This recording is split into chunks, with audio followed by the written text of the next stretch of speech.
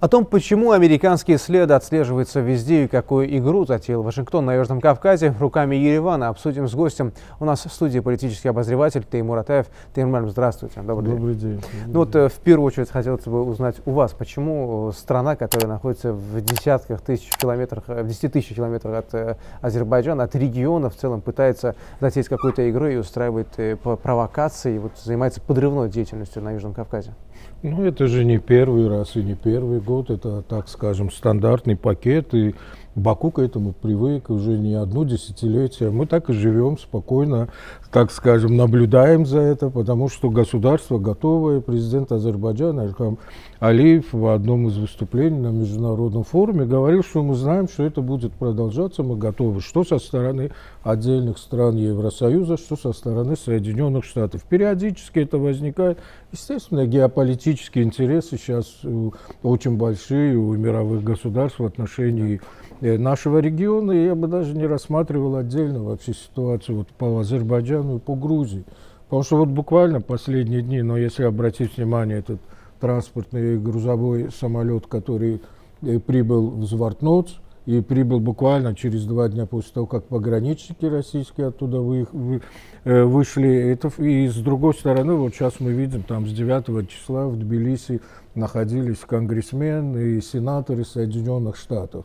Тоже такие же провокационные выступления под э, крылышком и под, эм, э, скажем, внешним эффектом фраз о демократии, о правах человека и так далее. То есть речь идет о попытках дестабилизации на Южном Кавказе, это вполне понятно. Здесь же э, вопрос в чем, как говорится, если там классик сказал, да, если оружие есть, оно выстрелит, допустим, если висит на сцене, оно выстрелит в третьем акте. То есть факт, что здесь нашпиговывается оружие, здесь нашпиговывается личный состав, который под прикрытием там, форм армянской армии или там в составе вот этого личного, который прилетел вот 2-3 августа, там лицей славянской национальности, на самом да. деле это американцы, просто вот обработали. И самое главное, что дезавуировали э, в посольстве э, Соединенных Штатов, что это не происходит, что 24 июля завершились э, Учения. Учения, да, между Арменией и Азербайджаном. Но на самом деле ответ на то, что а кто прилетел второго, третьего, что есть кадры, так и не прозвучал. Да, комментариев действительно не было, и ни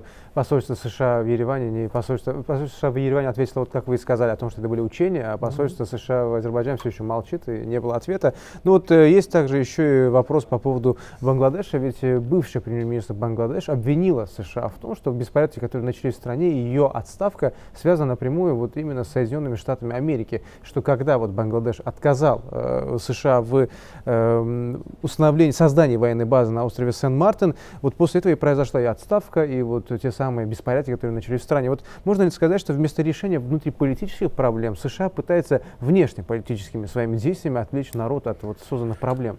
Ну, конечно, здесь можно говорить, что в преддверии выборов ноябрьских там идет попытка через международные рельсы получить добро электората и на голоса, которые должны будут сыграть э, осенью нынешнего года. А здесь даже можно опять-таки глубже смотреть. Вот обратите внимание, ведь речь идет о том, что произошла смена власти. Да переворот. Одни говорят переворот, а, скажем, Евросоюз и Соединенные Штаты говорят, что демократический формат перехода власти. Хотя военные пришли. Да. Военные пришли, объявили, что будет э, временное правительство. Мы, говорит, господин Бурель, великий поборник прав человека, так сказать, он говорит, мы приняли к сведению сказанное военными и будем ждать дальнейших решений. Но сейчас пришла очень разношерстная публика, Бангладеше к временному правительству. С другой стороны, и ведь отвергла э, со стороны пресс-службы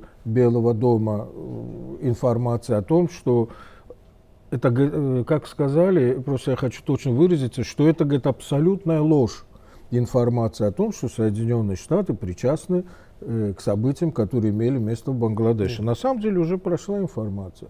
Есть такой остров Сен-Мартен, это Бенгальский залив, да. который под контролем Бангладеша. И там речь шла о том, что американцы предлагали э, создать военную базу. То есть фактически Бангладеш должен был отказаться от суверенитета, передать права на этот Бенгальский залив э, американской стороне и, так сказать, встать в сторону, и чтобы там вот было нашпиговано, фактически как в Армении.